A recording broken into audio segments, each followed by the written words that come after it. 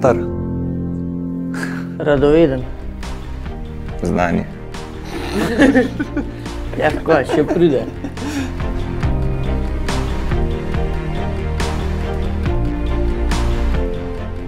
Um, ja, če pogledamo zdaj na polovico mojih vrstnikov, je bil pač ti sfaliran študent, ki vleče status doktor Greh.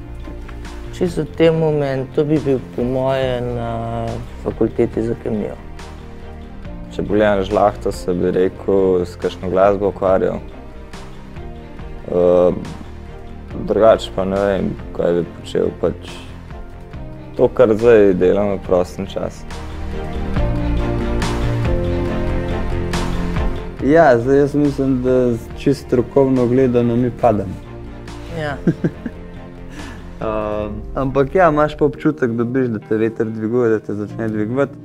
Kako je, pa nima se, ki je dosti izrazov, da bi to lahko prenesel v besede.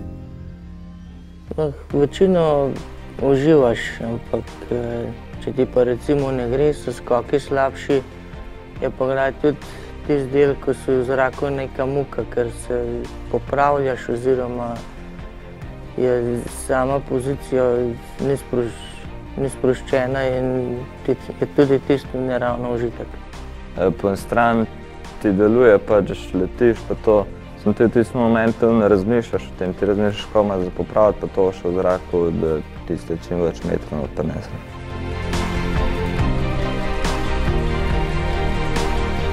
Ne vem, se to piše povsod, da že skoraj to poje začneš verjeti, ampak kaj jaz vem, jaz sem začel, one dva sta pa za mano lezla, Ja. koliko je povsod. Vsem je ratelj to en vesele, pa pa tudi, ki pravijo za ja, eh, kot gen ali karkoli, se z vajo ratujejo skozi boljši.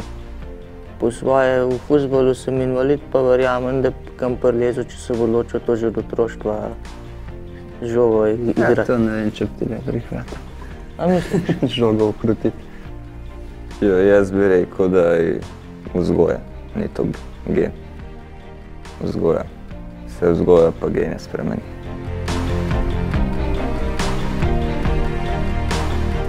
Mm, da moraš biti miren, delati gibljivost.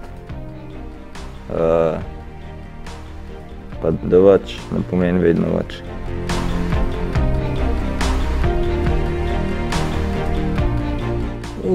Danes smo sploh nekaj Zelo skupaj. mi. redko smo toks. Počitnica na jadrnici, eko. Evo, ja, to. Evo.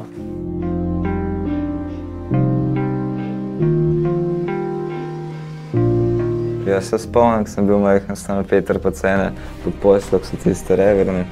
Sem jih tako zmaknil, da sem se jaz legel, sem noter.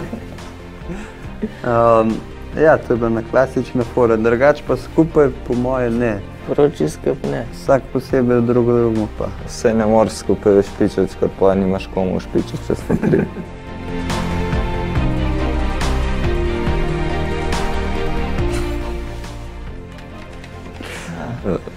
Tri najboljši prijatelji. Ne, dva pa kopalke, eko. Kopalk ne rabiš, če ste sam trije. Si že navadiš.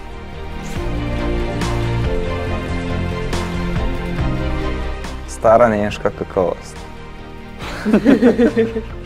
Ker danes že Nemci, tudi, tudi Nemčija počasno. Kaj pa pomeni kakovost? Ja. Vse to moraš zdaj povedati.